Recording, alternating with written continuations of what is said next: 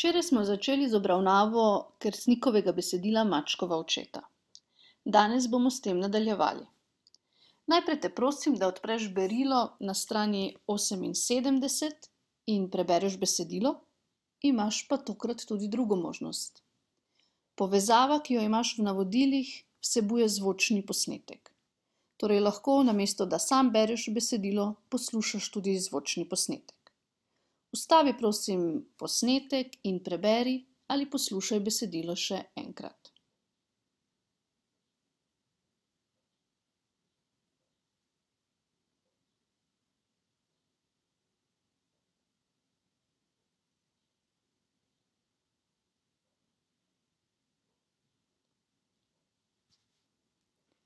Če si besedilo prebral ali poslušal, najprej samo malo osvežimo znanje, torej ponovimo, kar smo naredili včeraj.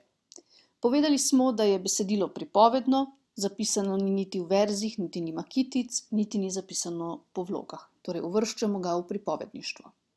Govori o družinskih težavah, dogaja se v podeželskem okolju. V besedilu je kar nekaj arhaizmov, zato smo nekaj besed iskali razlage, torej za besede smo iskali razlage.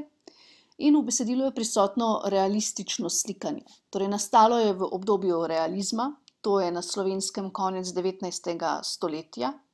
In realizem je na neki način odgovor na romantiko. V romantiki so stvari olepševali, za realistično opisovanje pa je značilno, da predstavijo stvari takšne, kot so. Torej značilno je opazovanje in kasneje opisovanje stvari, takšnih, kot so, ne olepšuje se ničesar. To je to, kar smo o besedilu povedali včeraj. Zdaj pa gremo naprej. Pa tvoja prva naloga je, da v zvezku pod tistim, kar smo pisali, zapišeš, kdo so nastopajoče osebe, katere so glavne in katere so stranske.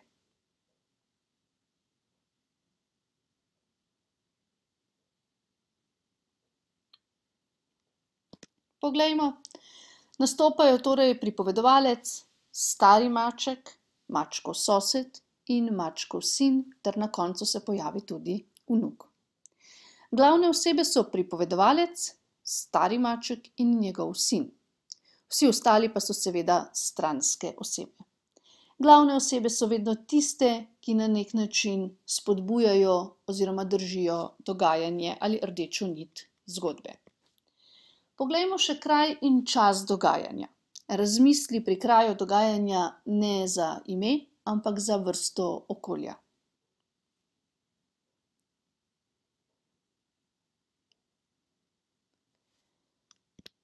Zgodba se dogaja v podeželskem, ruralnem okolju, na vasi, čas dogajanja pa je več let. Gre namreč za dogajanje od trenutka, ko mačkov sin prevzame posest, in do trenutka, ko ostari in posestvo prepusti svojemu sinu. Torej gre za daljše časovno obdobje, se pa zgodba dogaja ponovno v podeželskem okolju, podeželskem okolju in dogajanju v tem času je pa pisal že Ivan Tavčar, če se spomnimo v sliki držača.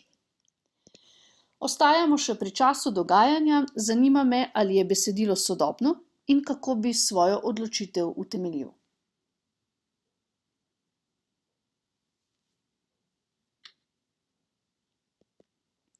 Besedilo seveda ni sodobno, to, na to lahko sklepamo glede na besedišče, torej ker je veliko starinskih izrazov, in pa tudi dogajanje na kmetih, tako kot je predstavljeno, gre torej za dogajanje, ki se je zgodilo v preteklosti. Pa gremo malo k vsebini, torej o čem besedilo bolj podrobno govori. Moje prvo vprašanje je, zakaj maček ni hotel kmetije izročiti sinu?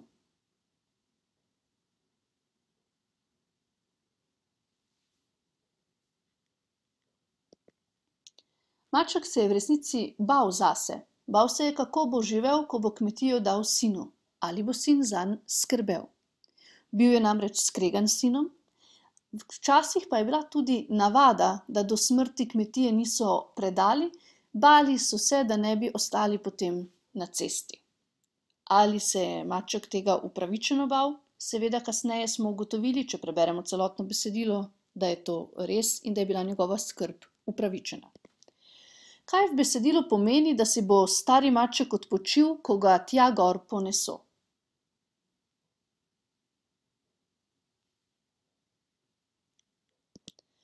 To pomeni, da bo kmetijo prodal ali predal šele, ko umre.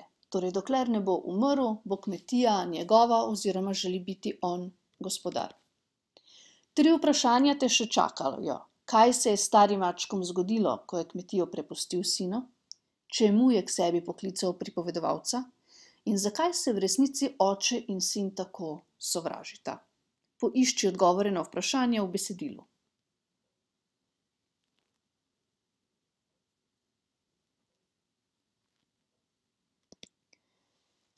kaj se je zgodilo s starim mačkom? Prišlo je seveda do prepira. Kregali so se, prepirali so se. In zakaj je poklical oziroma s katerim namenom je poklical pripovedovalca? Sinu se je želel maščevati. Zakaj pa je sploh prišlo do tega silnega sovraštva? Sinom si ne zaupata, hkrati pa zaradi revščine, v kateri živijo, seveda želita oba imeti in obdržati to posestvo. Čeprav je revno, je vsaj streha nad glavo. Besedilo ima tudi vzgojno sporočilo. Zanima me, kakšno. Odgovori, prosim, v zvezek.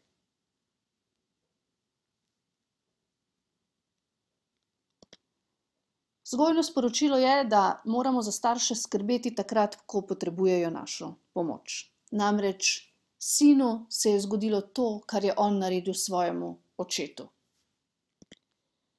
O čem pa besedilo govori? Kaj je torej tematika besedila? V besedilu govorimo o družinskih odnosih, o težav, o težavah, do katerih lahko pride v družinskih odnosih. Rekli smo že, da ničesar ne olepšuje, in tako vrsto tematike bi lahko imenovali socialna tematika. Torej, pisatelj opozarja na težave, do katerih prihaja v družbi. On je bil po poklicu notar, zaključil je torej študij prava, zato je te stvari poznal in o njih tudi pisal. Če pogledamo še odnos med starim mačkom in pripovedovalcem. Torej, maček se na različne načine pogovarja s pripovedovalcem. Zapisane imaš tri kratke odlomke in na drugi strani tri lastnosti mačka v tem trenutku. Poišči pravilni odlomek in lastnost. Torej, v zvezek prepiši odlomek in zraven zapiši lastnost. Poglejmo. Pri prvem, torej dober dan, gospod, je dejal in raztegnil čudno svoje lice, v kolikor moči prijazen smehljaj, je izražena nezaupljivost. Počil si bom, kadar me tja gor poneso, je zavrnil mož, bajte pa ne dam. Je nepopustljivost. Hotel sem odgovoriti, a starec mi je obrnil hrbet in s kratkim zbogom, gospod, koracal proti svoji bajti tukaj pa je izražena nedostopnost. Še malo bomo ostali pri pripovedovalcu. Razmisli, v katerem času je zapisana zgodba, torej ali gre za sedanjik, preteklik ali prihodnik, v kateri osebi je zapisano besedilo in kako imenujemo takega pripovedovalca.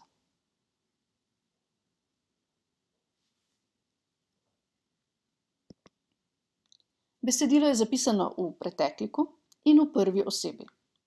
Kadar imamo zapisano besedilo in glagole v prvi osebi, imenujemo takega pripovedovalca prvoosebni pripovedovalec. Če pogledamo, kam bi uvrstili to besedilo, besedilo je slika, kar pomeni, da je zgodba zajeta iz resničnega življenja, napisana pa je v realističnem pripovednem slogu. V ospredju je posameznik, in neki usodni dogodki vplivajo na življenje posameznika. Slike je pisal tudi Ivan Tavčar. Med gorami smo rekli, so slike, naprimer Tržačan je tudi slika. In če zdaj pogledamo, kakšna je razlika v njunem slogu, ker snik opisuje navadne kmečke ljudi, medtem ko je Tavčar običajno na nek način izbral posebneže za svoje zgodbe.